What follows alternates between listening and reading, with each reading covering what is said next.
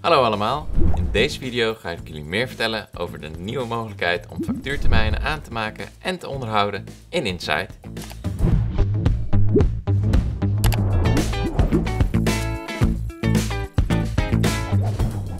De afgelopen jaren hebben we steeds meer functionaliteit beschikbaar gemaakt vanuit Profit Windows in Insight. Met als doel om zoveel mogelijk mensen vanuit Insight te laten werken. Een van de stukken functionaliteit die daar nog niet beschikbaar was voor projectleiders was het aanmaken en het onderhouden van factuurtermijnen. En dat ga ik jullie nu laten zien. We gaan naar onze projectenportal in onze demo in Insight. En ik kies een project dat ik heb aangemaakt om deze demo goed te laten zien. En nou ja, zoals gezegd, de afgelopen jaren steeds meer functionaliteit naar Insight toegebracht. Denk aan het aanmaken en onderhouden van teamleden op een project, projectfases, de voorcalculaties en nu ook de factuurtermijnen. Als ik hier opnieuw klik, dan kom ik ook terecht in de boekingslayout van de factuurtermijnen, waar netjes het project wordt overgenomen, de totale aanneemsom.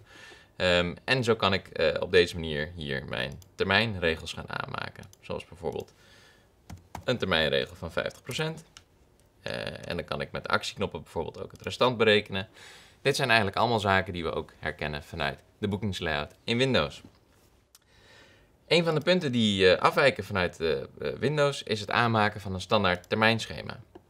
Je ziet nu dat in de kop van de boekingslayout de termijnschema is toegevoegd. Dan kan ik hier kiezen uit voorgedefinieerde termijnen. En vervolgens kan ik met de actieknop genereren termijnen de juiste regels genereren. Nou, voor nu zal ik deze eventjes verwijderen. En ook even annuleren. Want wat we ook gedaan hebben, is we hebben het ook mogelijk gemaakt om vanuit de voorcalculatie uh, termijnen te genereren. Dus ik open hier de voorcalculatie op het project. En dan zien we ook meteen dat we een overzicht factuurtermijnen per voorcalculatie hebben toegevoegd. En een nieuwe actieknop genereren factuurtermijnen. Dus als ik vanuit hier de knop aanklik genereer factuurtermijnen, dan wordt ook netjes uh, de totale aanneemsom gevuld vanuit de voorcalculatie. Uh, en kan ik hier ook mijn termijnregels gaan aanmaken. Dus als ik hier bijvoorbeeld, een, uh, doe maar gewoon 100%.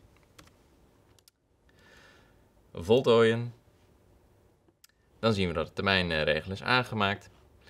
En als ik terug ga naar het project, dan zie ik ook deze netjes uh, verschijnen.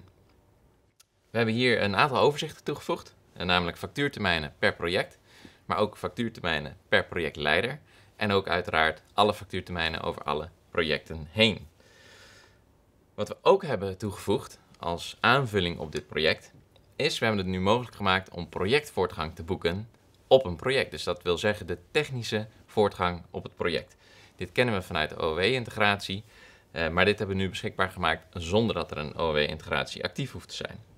En waarom is dat nou uh, handig in combinatie met deze factuurtermijnen? Nou, dat ga ik jullie nu laten zien. Ik klik hier opnieuw. Ik vul hier een percentage in, bijvoorbeeld 50%. Ik maak mijn projectvoortgang aan en we hebben hier een aantal functievelden toegevoegd.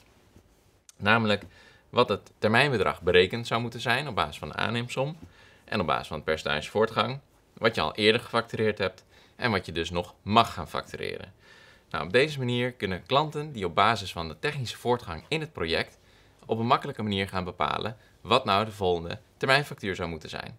dus uh, als, als er op basis van voortgang gefactureerd kan worden, dan weet ik, hey, mijn volgende termijnfactuur mag nu uh, eh, 380 euro zijn.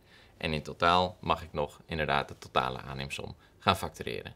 Dus op deze manier geven we goed inzicht in wat de volgende termijn zou kunnen zijn om te gaan factureren. En zo is het mogelijk om dus op basis van voortgang termijnen te gaan factureren. Dus kort samengevat hebben we het nu mogelijk gemaakt om factuurtermijnen aan te maken en te onderhouden in Insight. Je kunt ook vanuit de voorcalculatie in Insight factuurtermijnen gaan genereren.